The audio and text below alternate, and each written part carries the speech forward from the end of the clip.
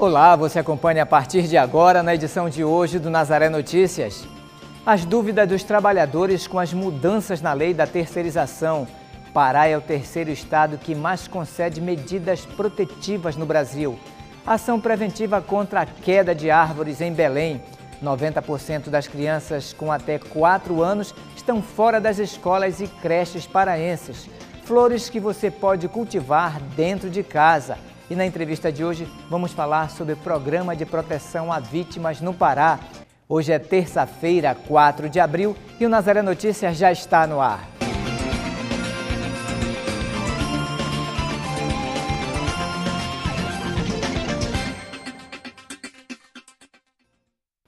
Começamos o Nazaré Notícias de hoje falando sobre terceirização. Na última sexta-feira, o governo federal sancionou a lei da terceirização. O projeto foi sancionado com apenas três vetos e traz grandes mudanças ao cenário trabalhista brasileiro. Vamos entender o que diz essa lei. A grande mudança é: agora a terceirização pode ser aplicada a qualquer atividade da empresa. Antes, apenas as atividades meio poderiam ser terceirizadas, como serviços de limpeza e assistência técnica de informática. Agora, qualquer profissional pode ser terceirizado. A lei é para trabalhos temporários. Somente poderão celebrar contratos de terceirização de atividade fim e de atividade meio empresas de trabalho temporário. Temporário, ou seja, não se aplicará, não se, não se celebrará contratos com empresas que não tenham a natureza de trabalho temporário. Portanto, essas empresas têm que estar registradas no, no Ministério do Trabalho e Emprego. Essa é a primeira regra fundamental que tem que ser observada. Uh, relativamente às mudanças, uh, a nova lei traz a possibilidade, admite agora legalmente, a terceirização e a quarteirização da atividade fim da empresa contratante, ou seja, da empresa tomadora de serviços. Significa o quê? Que antes só era admissível a atividade, a terceirização da atividade meio Agora, com atividade fim, qualquer atividade daquela empresa contratante pode ser terceirizada com um contrato de empresa de trabalho temporário. Imagina só a aplicação da lei em uma escola. O professor que, para exercer essa função, participava de uma seleção, agora poderá ser um trabalhador terceirizado. Só que ele não pode ultrapassar nove meses de trabalho naquela escola, pois o contrato do temporário terceirizado é de seis meses, podendo ser prorrogado para mais três. Uma coisa relevante é que esta empresa terceirizada pode quarteirizar o serviço. O mesmo trabalho que ela iria prestar mediante aquele contrato de terceirização, ela pode fazer um outro contrato, ou seja, subcontratar uma quarta empresa para prestar aquele mesmo serviço. Qual é o problema disto aí? É a capacidade financeira dessas empresas. Terão idoneidade econômica para garantir os direitos previdenciários e trabalhistas, que são direitos fundamentais dos trabalhadores? Essa é uma grande questão. Cabe à empresa terceirizada contratar, remunerar e dirigir os trabalhadores. Já a empresa contratante é obrigada a garantir aos empregados terceirizados condições de higiene, segurança e salubridade. Agora, nenhuma das duas é obrigada a oferecer atendimento médico e ambulatorial e também refeição.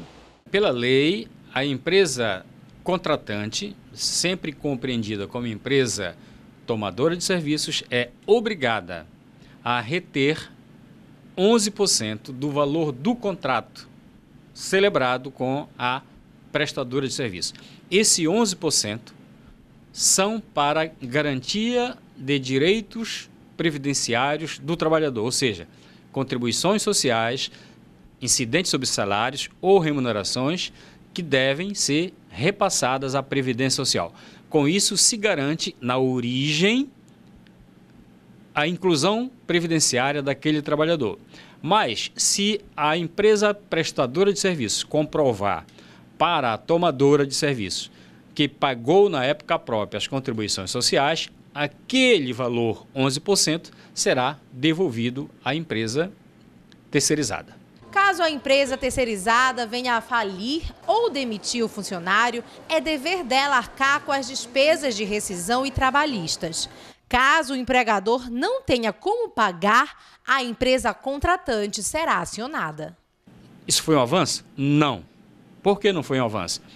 Porque no regime de hoje, o trabalhador pode ajuizar a ação já diretamente em face da empregadora, que é a prestadora de serviço, e já contra a tomadora, que é a contratante. Ou seja, no mesmo processo ele resolve a situação. Pela nova lei, não. Ele primeiro tem que esgotar toda a busca de bens em face desta. Somente se ele não encontrar que ele vai ajuizar uma outra ação. A nova lei tem gerado discussões e repercussão negativa. Perguntamos às pessoas o que elas pensam da terceirização. Minha atividade profissional é uma atividade que já ela é terceirizada desde sempre, que é atividade publicitária.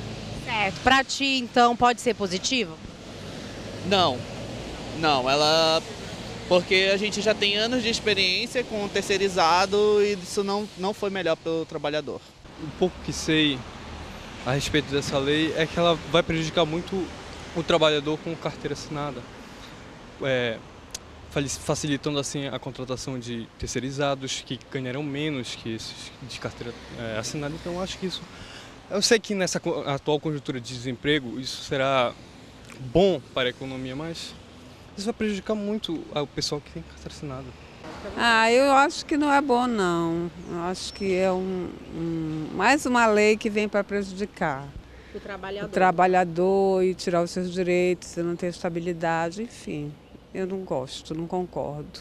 A terceirizada tem que adimplir, tem que garantir, tem que assegurar, tem que pagar todos os direitos trabalhistas.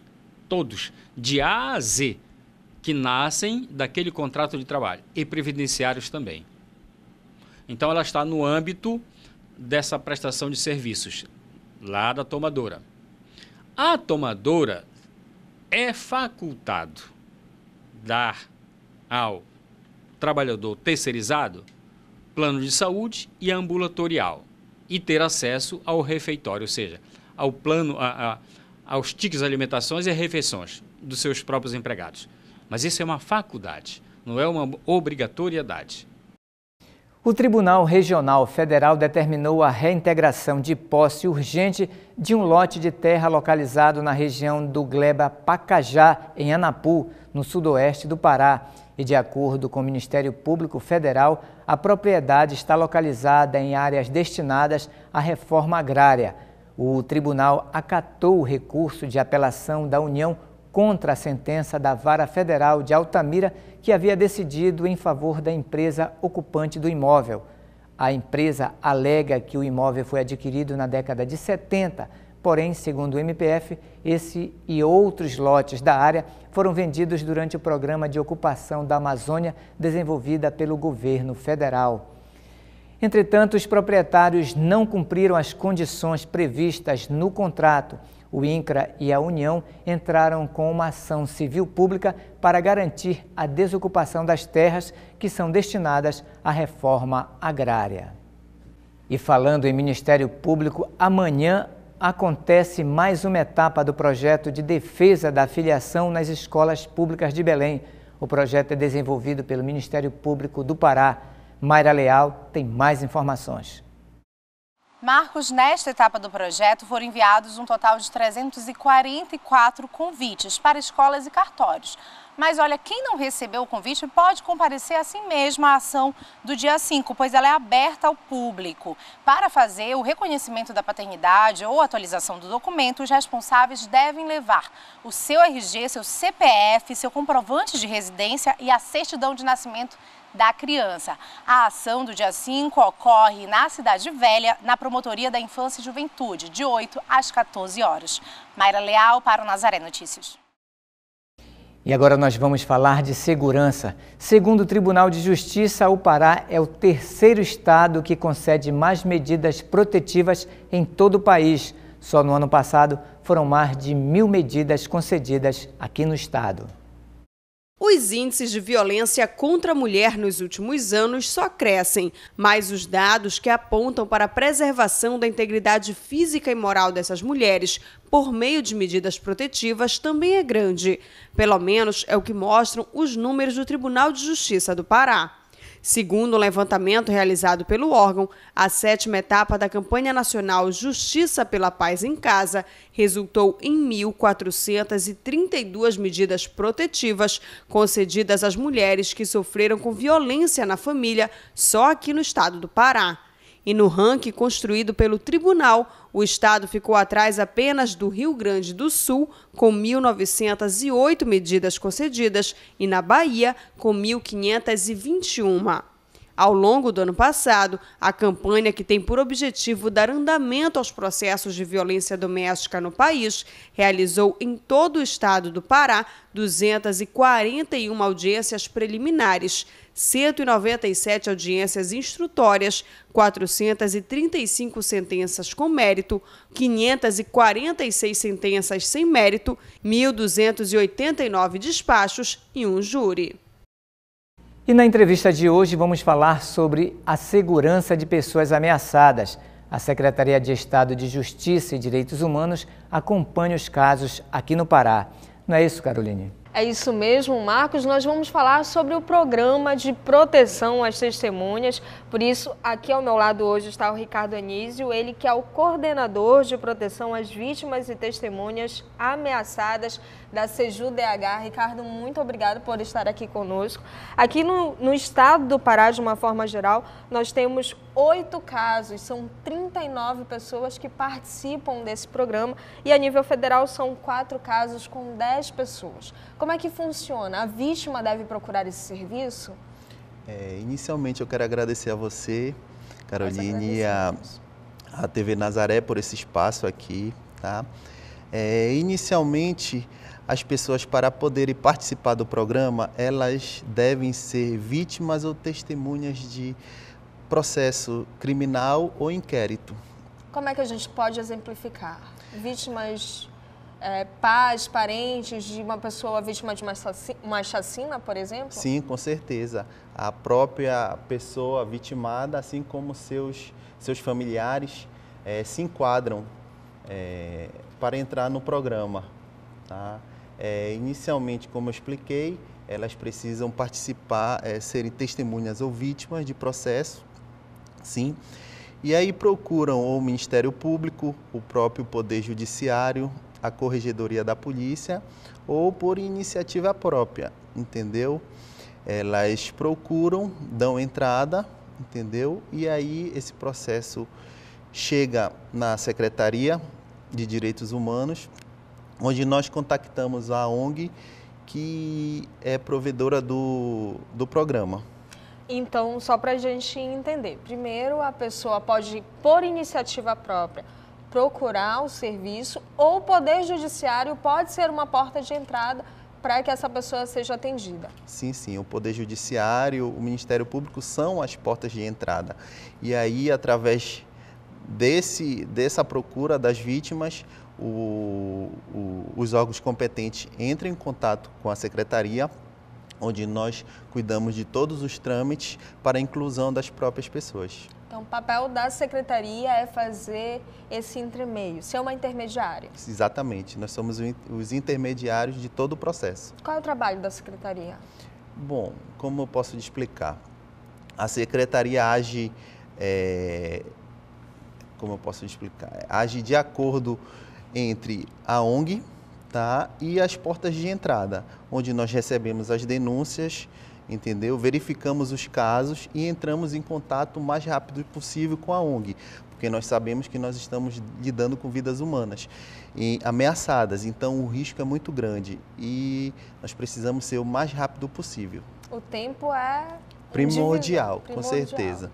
Agora, qual é o trabalho da ONG? A partir desse momento que a vítima dá entrada no Poder Judiciário e a Secretaria ela é acionada, qual é o trabalho da ONG? Bom, inicialmente, é, o principal, como as pessoas estão em risco eminente de vida, é o mais rápido possível tirar a pessoa do seu ambiente normal, entendeu?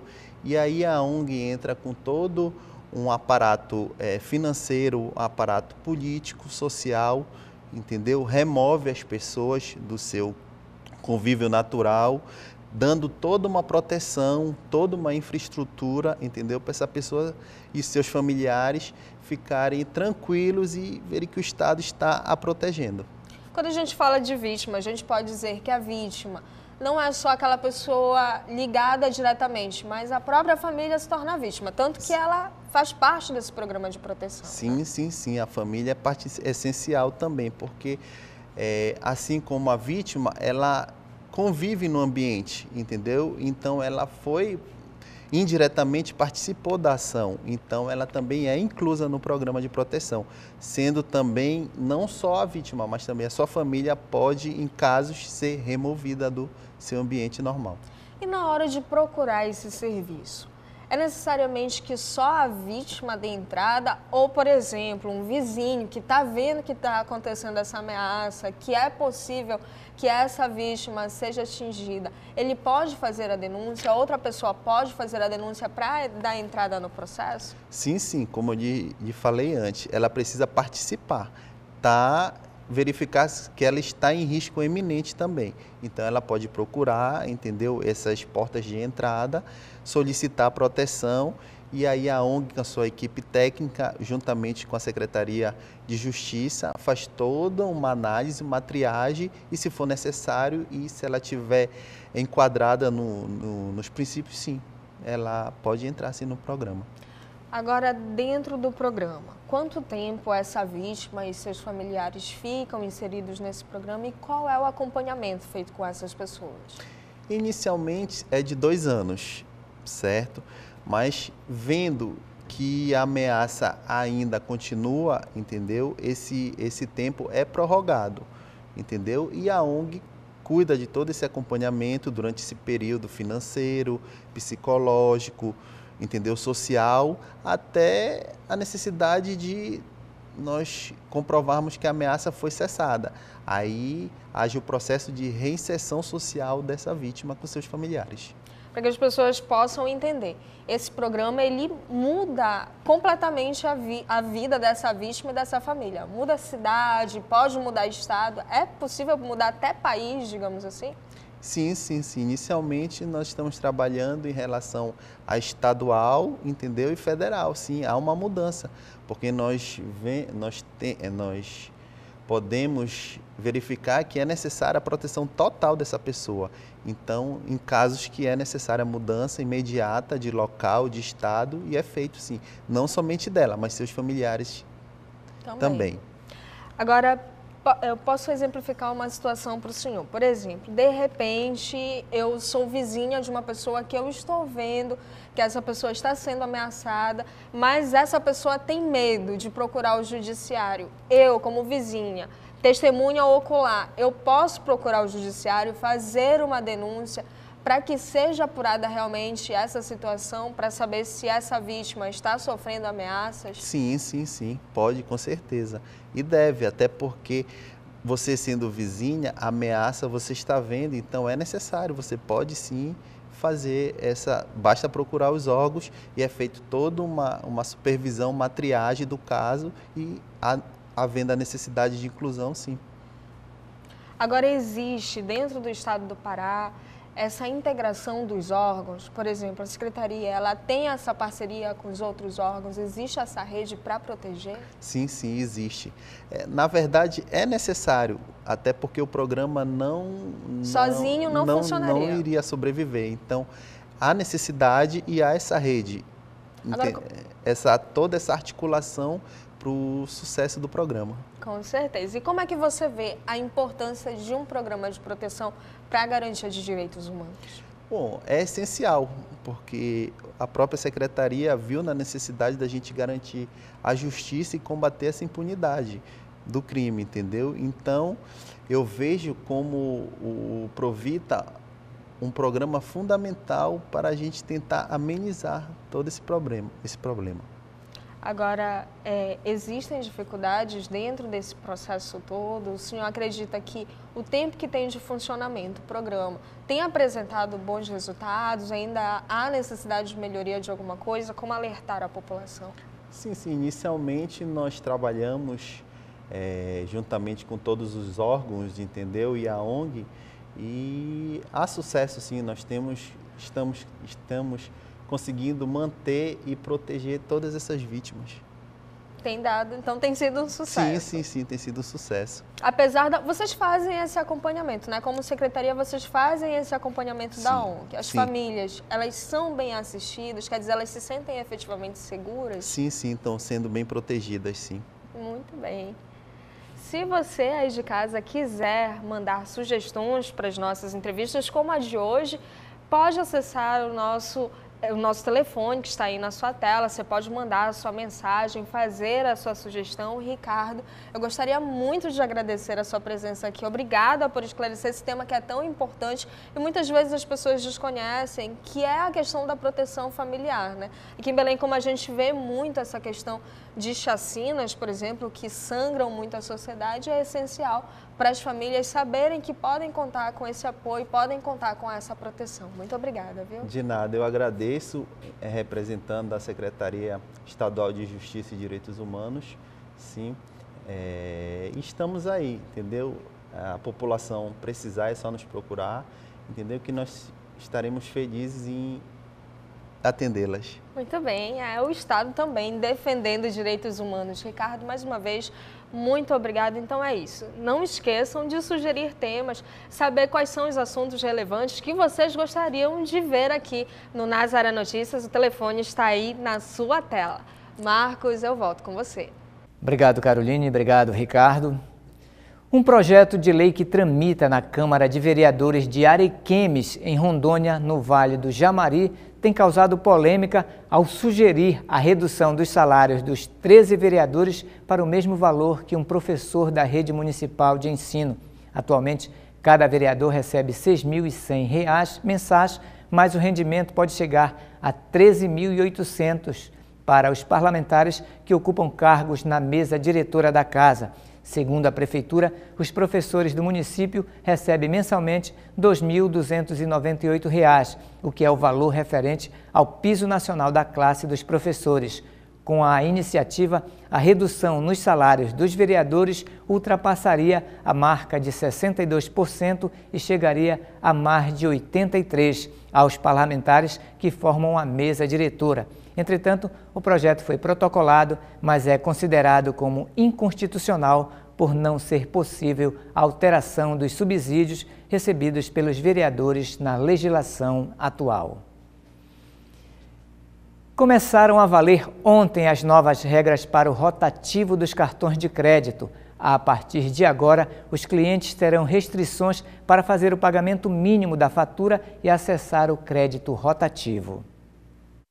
A determinação foi divulgada pelo Banco Central no mês de janeiro. Segundo o banco, essas novas regras foram criadas para coibir o uso do rotativo e obrigar os bancos a oferecer uma solução de parcelamento para o cartão de crédito com juros mais baratos para os consumidores.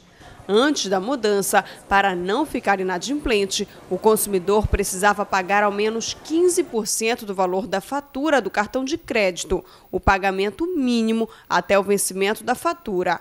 O restante da dívida ficava para o próximo mês, sujeito aos juros do cartão.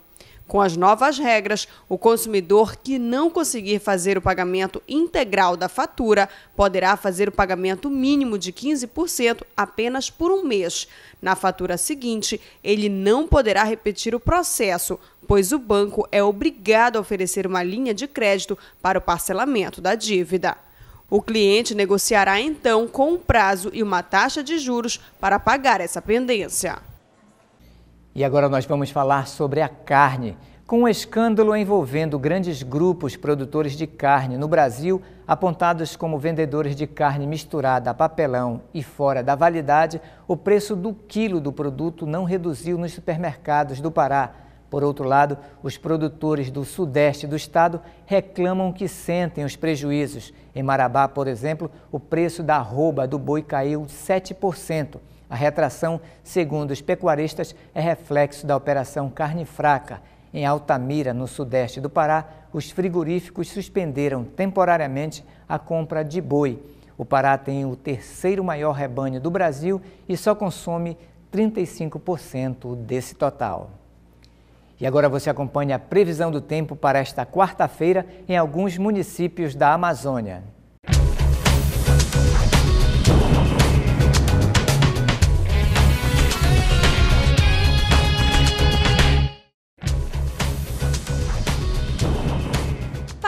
Município de Abaetetuba, a previsão é de tempo nublado, com possibilidade de chuva fraca ao longo do dia. A temperatura mínima deve chegar aos 24 graus e a máxima aos 29. No município de Curuçá, Nordeste Paraense, a previsão é de tempo fechado, com chuvas durante toda a quarta-feira. As temperaturas devem variar entre 25 e 28 graus. Para o município de Tefé, no estado do Amazonas, a previsão é que o sol apareça entre nuvens, com possibilidade de chuva fraca durante a tarde. A temperatura mínima prevista é de 25 graus, com máxima de 30.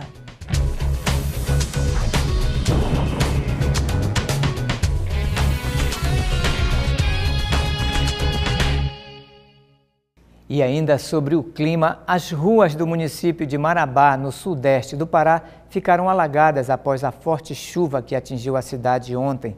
Moradores registraram vídeos que mostraram que a água invadiu também casas e estabelecimentos comerciais.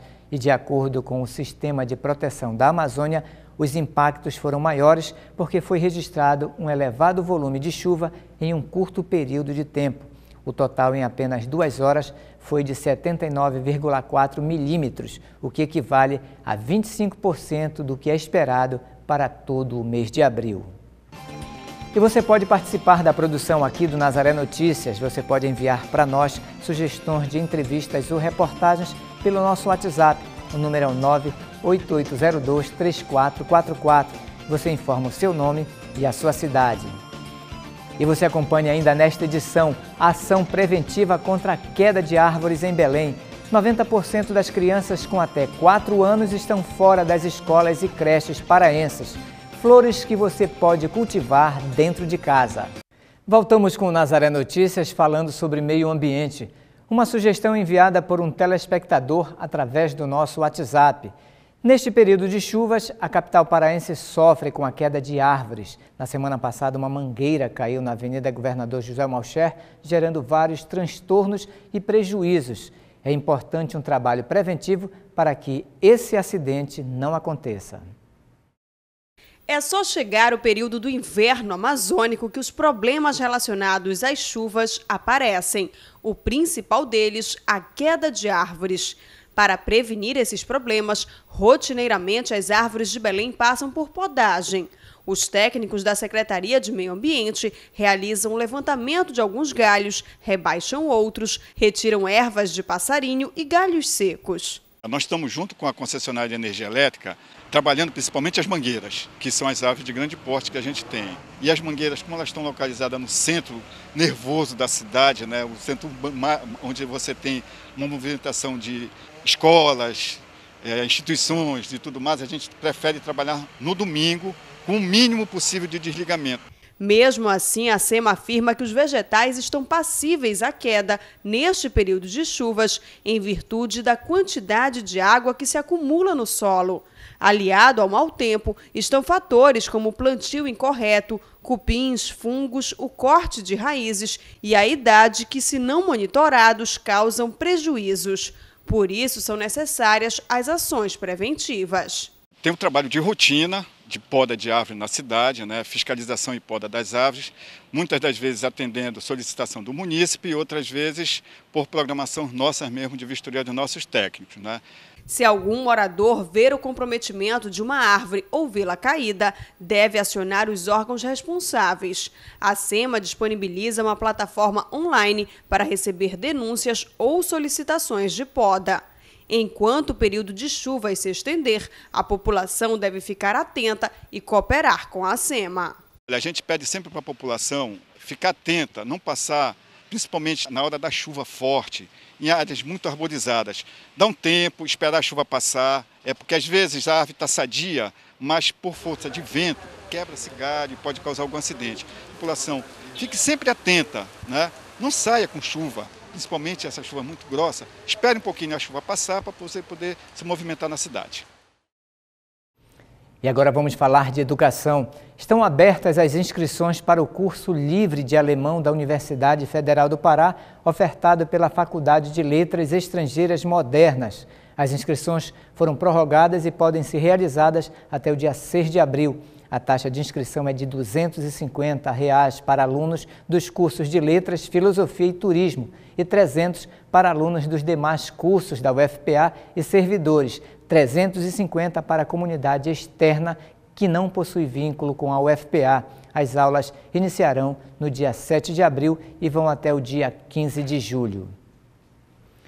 Estão abertas também as inscrições para o curso pré-vestibular 2017 do Serviço Social da Indústria, o SESI Pará.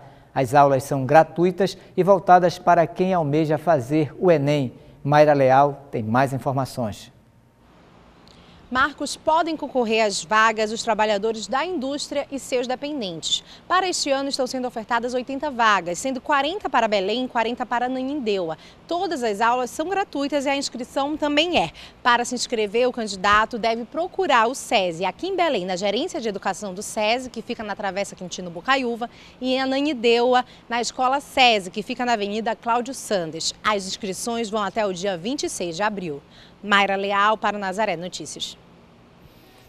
E ainda sobre educação, cerca de 90% das crianças que têm até 4 anos de idade estão fora das escolas e creches públicas do Pará. A constatação foi revelada pelo IBGE.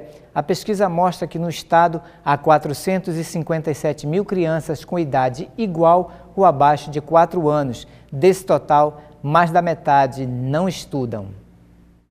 Segundo a pesquisa, no estado do Pará, há 457 mil crianças de 0 a 4 anos.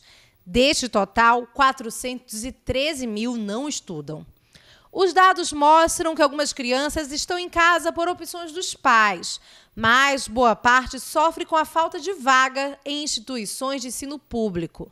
O Pará ocupa o quinto lugar entre os estados do país com maior número de crianças sem acesso à educação formal, atrás de São Paulo, Minas Gerais, Bahia e Rio de Janeiro. E agora vamos falar de saúde. Os índices de depressão aumentaram mais de 18% desde o ano de 2005. Atualmente, esta é a principal causa de problemas de saúde e invalidez no mundo, segundo a Organização Mundial da Saúde. A depressão afeta mais de 300 milhões de pessoas no mundo. É uma doença mental comum caracterizada pela tristeza persistente, perda do interesse e a falta de capacidade para atividades cotidianas e o trabalho. De acordo com a Organização Mundial da Saúde, em média, só 3% dos orçamentos de saúde dos governos são investidos na saúde mental, variando de 1% em países pobres a 5% nos países ricos. A doença afeta 4,4% da população mundial e 5,8% dos brasileiros. Segundo os dados da Organização Mundial da Saúde, o Brasil é o país com maior prevalência da depressão na América Latina e o segundo com maior prevalência nas Américas, ficando atrás somente dos Estados Unidos, que tem 5,9% de pessoas com depressão. E ainda falando de saúde, o Hospital Estadual de Laranjal do Jari, a 295 quilômetros de Macapá, iniciou uma campanha para arrecadar livros, gibis e brinquedos para uma biblioteca móvel que será implantada na unidade com o objetivo de incentivar a leitura entre os pacientes que estão internados. Mayra Leal tem os detalhes. Marcos, o projeto é uma forma de incentivar a leitura e ao mesmo tempo ser uma terapia, ajudando a quebrar a rotina hospitalar e a melhorar o atendimento e o tratamento desses pacientes. Para doar, a doação é contínua. É só procurar um dos pontos de coletas do hospital ou entrar em contato através dos telefones que estão aparecendo na tela. Lembrando que a expectativa é que a biblioteca comece a funcionar no dia 8 de abril. Mayra Leal para o Nazaré Notícias. A Associação Comercial do Pará completou 198 anos ontem e preparou uma programação para comemorar sua história.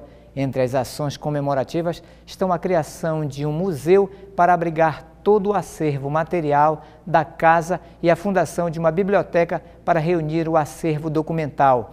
Em maio, a instituição promoverá um jantar solene no Salão Nobre da sua sede aqui em Belém, que culminará com a inauguração da Galeria dos Presidentes da Casa.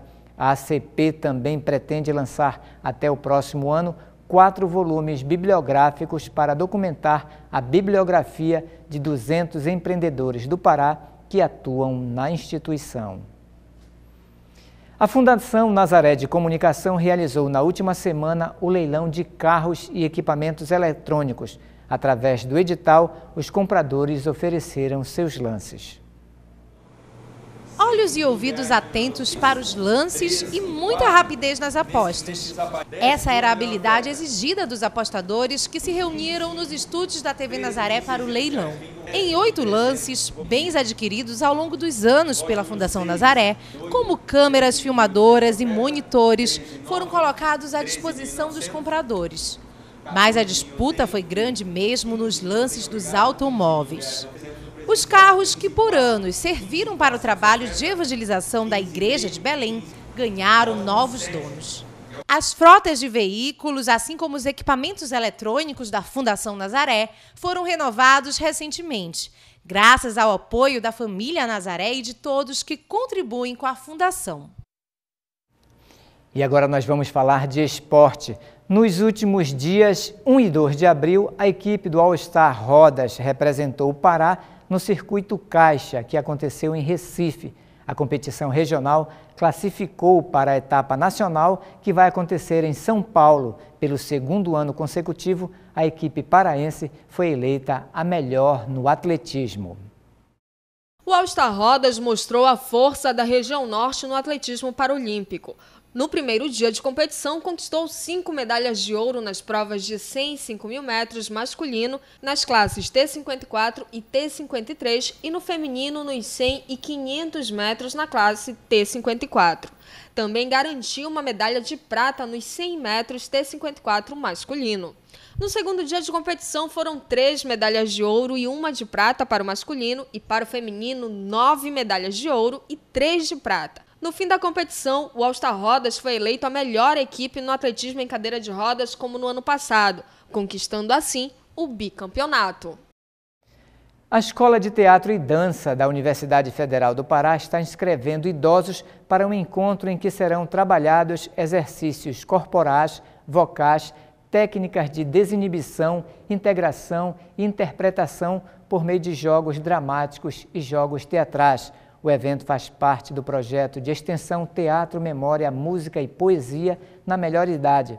Os jogos e as improvisações teatrais irão desenvolver a criatividade, o raciocínio, a memória e a socialização. Os interessados devem se inscrever por meio dos telefones 984 15 5202 e 3083 3717 até o dia 10 de abril. As aulas irão acontecer no Palacete Bolônia, aqui em Belém. A nossa última reportagem de hoje traz opções de flores para o cultivo em casa, plantas carnívoras, rosas do deserto, palmeiras e espécies frutíferas podem se adaptar ao nosso clima e trazerem boas experiências para o plantio residencial. Já imaginou uma árvore de romã desse tamanho? Cabe na palma da mão. E que tal enfeitar a casa com orquídeas? Lindas, não é mesmo? Sim, o pessoal está procurando muita uh, bonsai, sabe? Pediram muito da orquídea azul, mas na verdade essa, essa viagem que veio, o caminhão agora não, não pôde vir. Mas vamos ver se essa semana conseguimos a orquídea azul, sabe? Tem uh, umas, uns outros coquetel, tipo assim, de suculento, que tem umas corujinhas, sabe? Que é, tipo assim, atrai o pessoal. Rosas, pimenteiras, cactos, plantas diferenciadas e para todos os gostos fazem parte do Festival das Flores. E além de caberem em casa e em apartamentos, as plantas também estão com preços bastante acessíveis. Tem de, de R$ reais até 300, 400 reais. Aí vai da, da condição da pessoa. São cerca de 280 espécies de plantas divididas entre flores, frutíferas e ornamentais. Algumas não são típicas da nossa região, mas são lindas. O melhor de tudo é que elas foram adaptadas ao nosso clima. Tem umas flores ali, a gente traz de casa, do Paraná, mas que é tudo climatizado para o clima de vocês aqui, sabe? Claro que cada uma tem, tem os cuidados, uma é do sol, outra é sombra, sabe? A quantia do tempo que você tem que regar, adubação. Mas todas elas aguentam pro clima, pelo clima de vocês aqui. Frutíferas, eh, ornamentais, vem tudo nosso, do nosso cidade lá, né? A gente que, que produz lá, tudo climatizado. E a parte flores a gente pega em São Paulo, na Olambra daí. Como o romã, algumas dessas plantas são frutíferas e podem ser cultivadas em casa. Tem umas frutíferas bonsai que, que já vem com fruta, né? Mas mesmo assim você pode ter ela dentro de casa, mas ela tem que pegar uma boa claridade, pegar um sol, né? Um solzinho da manhã e adubação, né? Adubar a cada 30, 40 dias para ela manter sempre florida e bonita. E quem sai daqui recebe todas as orientações necessárias para cuidar da sua plantinha em casa. É, a gente está aqui para orientar o cliente, né? A, a, cada um que comprar, a gente explica como é que é a função da planta, se é da sombra, se é do sol. A gente explica bem certinho para ele para não ter problema de morrer. São muitas as variedades, grandes as possibilidades, tão encantador que se dependesse da vontade de Dona Terezinha, se eu pudesse, eu comprava todas. Lá na minha casa tem várias espécies de planta.